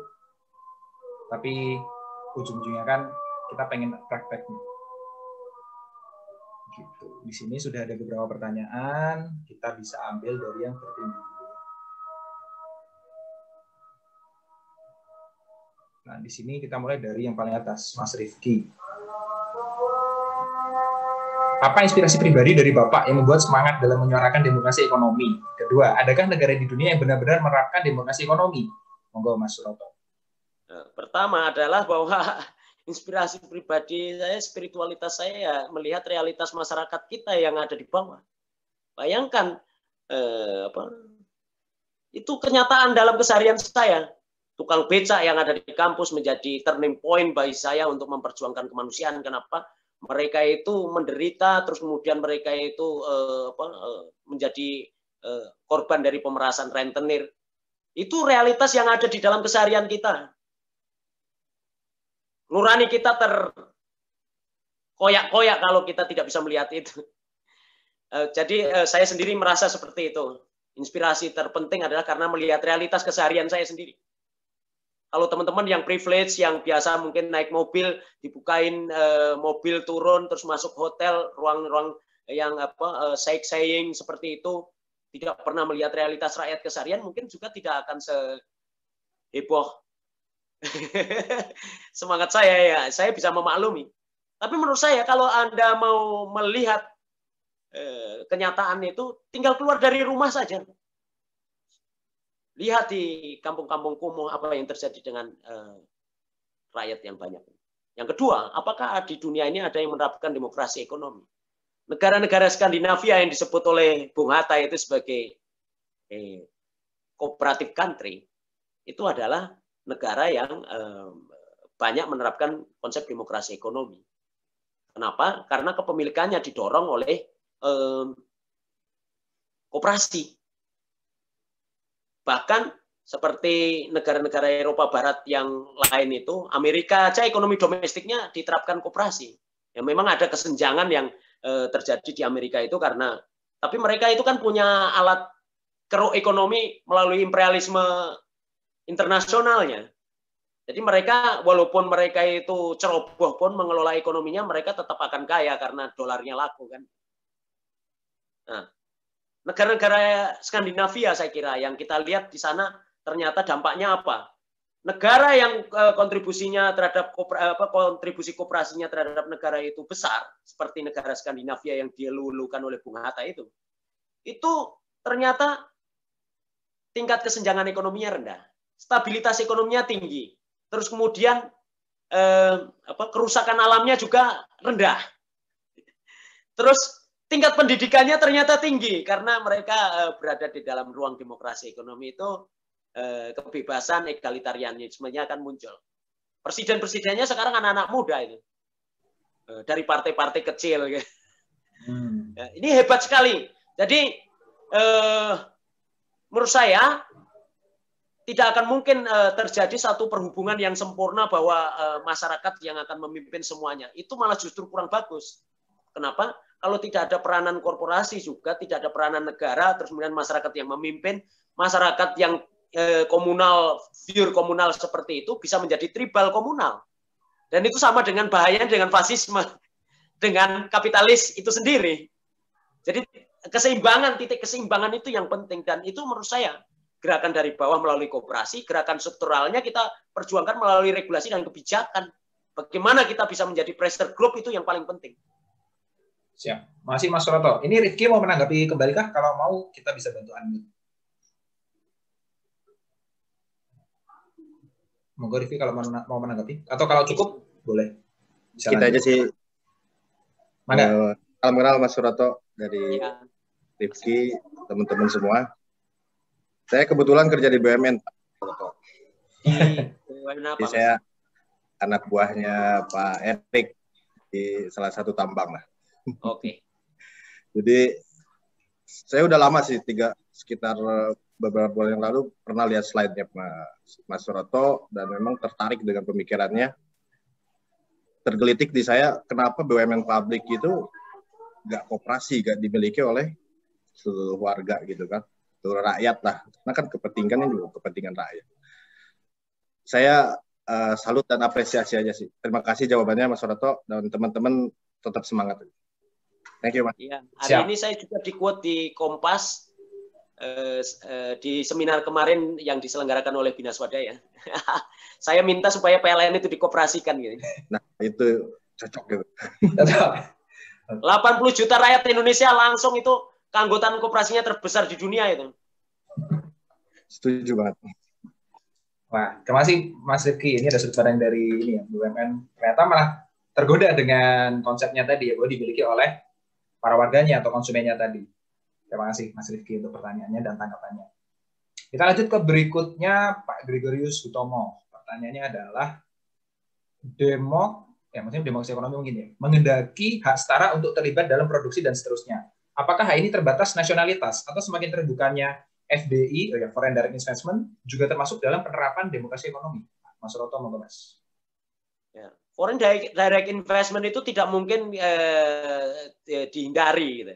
Tapi Foreign Direct Investment yang seperti apa itu yang penting. Jadi Foreign Direct Investment yang tidak merusak kedaulatan kita. Kedaulatan kita itu di mana? Misalnya soal kepemilikan tanah. Jangan eh, kita jual rakyat kita jual eh, republik ini hanya semata untuk mengejar foreign direct investment. Dan foreign direct investment yang memberikan keuntungan rakyat itu yang penting.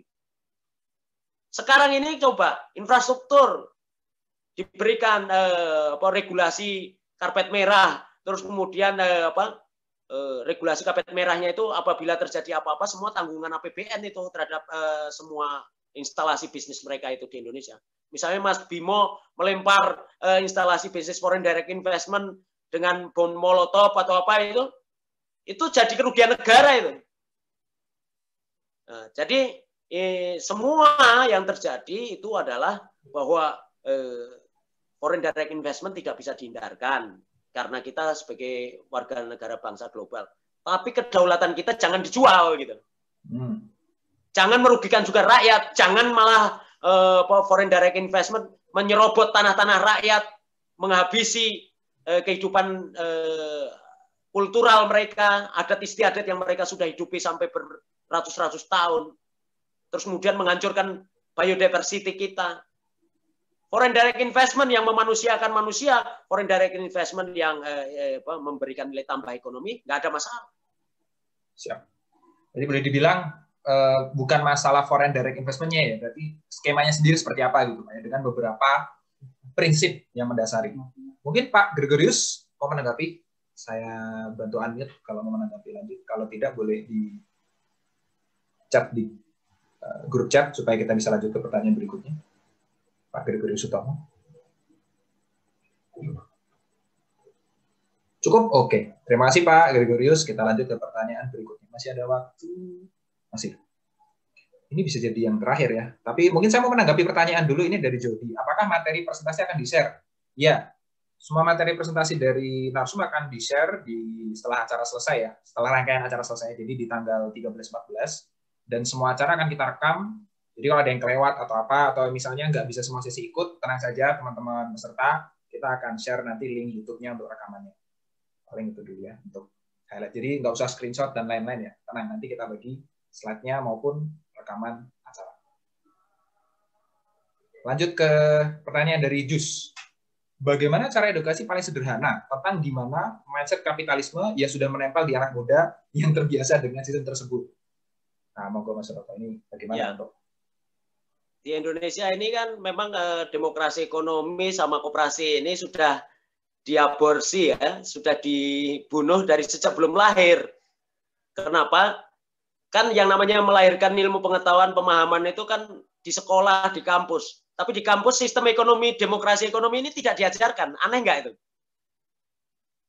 Coba Mas eh, Sena teliti lebih jauh lagi, apakah demokrasi ekonomi ini diajarkan di kampus sebagai mata kuliah atau tidak? Terus kemudian kooperasi ini diajarkan apa tidak. Padahal ini sistem ekonomi kita. Ya. Itu perlu diriset, kemudian dibuka sebagai fakta. Gitu. Ini menarik itu.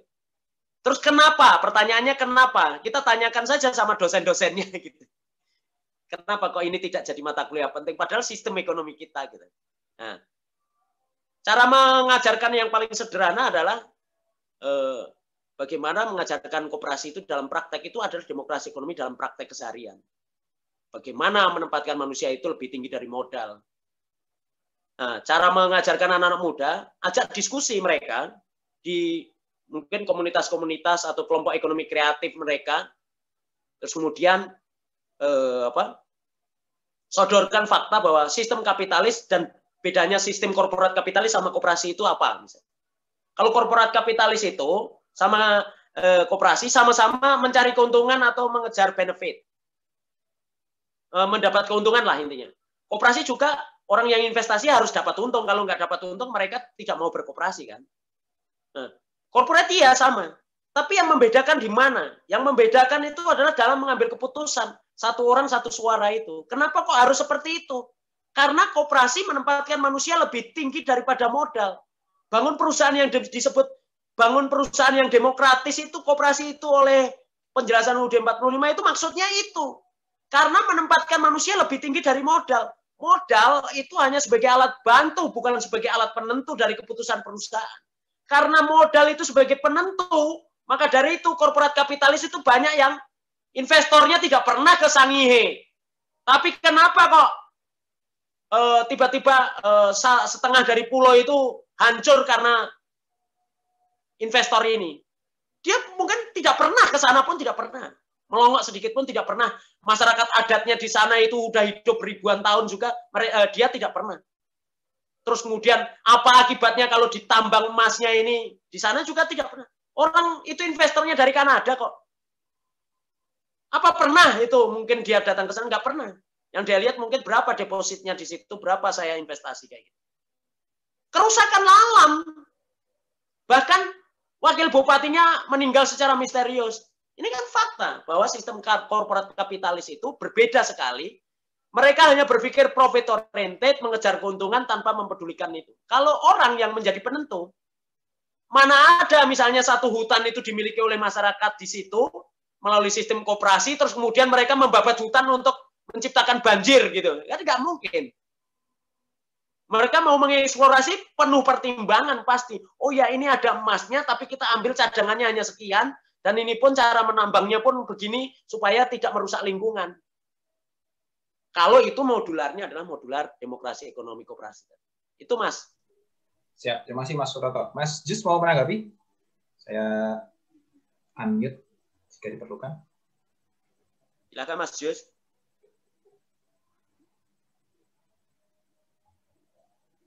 Belum? Ya. Oh, cukup. Terima kasih. Katanya cukup, Mas. Oke, kalau cukup, uh, waktunya juga sudah pukul 12. Ini sebentar ya.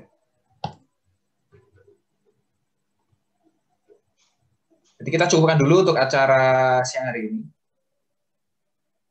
Terima kasih Mas Suroto atas materinya dan kesediaannya untuk menjawab pertanyaan dari rekan-rekan sekalian. Super sekali dan semoga ya mohon maaf ada beberapa pertanyaan yang belum sempat dijawab, tapi ya memang seperti ini mekanisme yang akan kita gunakan untuk acara-acara berikutnya. Jadi mohon segera sampaikan pertanyaannya supaya bisa segera dilihat oleh kawan-kawan yang lain dan di vote paling atas. Sedikit sebelum kita menutup seluruhan acara, saya mau cerita sedikit ada satu link yang nanti akan kita bagikan di grup WA, yaitu tentang virtual wall. Jadi kita kan sempat cerita ya, ada virtual wall, di mana di sini diharapkan selama mengikuti acara, selama tiga hari ke depan, kawan-kawan bisa menumpahkan entah kepikiran ide tertentu atau memiliki kesan pesan tertentu, harapan, masalah, solusi, ada punya ide, atau ada pengen mimpi tertentu, atau kritik saran terhadap acaranya sendiri bebas. Intinya, virtual wall ini, bayangin ya kita sedang bertemu bareng-bareng, terus ada papan tulis gede gitu ya. Di mana papan tulis ini kita bisa ngambil uh, post-it notes, bisa ngambil notes, kita ketik di sini, bisa pilih warnanya nanti. Terus ketika aja kayak saya punya solusi gimana kalau bikin Mondragon misalnya. Yuk bikin Mondragon di Indonesia. Saya zoom sedikit. Nanti kita akan share linknya. Jadi semua orang yang menjadi peserta itu boleh uh, menumpahkan apa yang dia pengen ke sini. Ini pun bahkan kalau kawan-kawan lihat ada kesan-pesan, harapan, masalah, solusi, ide, mimpi, kritik saran. Kalau mau nambah kategori, boleh nanti sampaikan di grup WhatsApp yang kita yang ada kita semua. Di sini harapannya tadi di akhir kita akan bahas hasil tumpahan ide kawan-kawan semua supaya siapa tahu tadi termasuk ide Mas Suroto tuh yang ada usulan me, merubah atau judicial review BUMN misal. Nah, kita lihat berapa banyak orang yang misalnya memiliki ide yang sama atau rasa oh ini cocok nih yang perlu kita lakukan. Ini memang eh, tadi ya bayangkan kita punya suatu dinding yang kita tempeli post-it notes, kita tempeli notes ini dengan berbagai warna. Silakan tumpahkan apa yang teman-teman pikirkan. Kalau ada ide kategori baru, bisa tuliskan saja langsung atau sampaikan di grup WA supaya kita bisa ubah. Nanti kita akan share linknya. Tapi harapannya ini bisa jadi boleh dibilang ringkasan dari nanti kita berdiskusi bersama tiga hari ke depan. Itu saja dulu dari saya. Mungkin Mas Rota ada yang mau disampaikan untuk penutup? Ya, um, saya mengucapkan terima kasih atas perhatian teman-teman semua. Saya mohon maaf kalau ada kata-kata saya yang kurang berkenan. Eh, senior-senior saya Ibu eh, Kemala Hatta dan kemudian ada Pak Robi juga yang apa, ngikutin walaupun di sana sudah sangat larut malam. Eh, Bapak Ibu sekalian semua saya mengucapkan terima kasih ini luar biasa. Ini inisiatif dari anak-anak muda seperti Mas Sena dan Mas Bima ini ini apa saya kira kita harus ikut uh, dorong terus dan uh, menjadi satu eskalasi besar supaya kita bisa membangun agenda demokratisasi ekonomi. Dan saya uh, count me in, maksudnya perhitungkan saya juga di dalam rekomendasi misalnya untuk uh, judicial review undang-undang apa undang-undang uh, BUMN dan lain-lain ya. Eh, saya intinya uh, juga terlibat aktif nanti di dalam festival ini. Terima kasih. Terima kasih banyak Mas Suroto. Kalau gitu kita kembalikan ke MC Mas Bima. Monggo. Ya. Terima kasih uh, Mas Sena. Terima kasih juga Pak Suroto.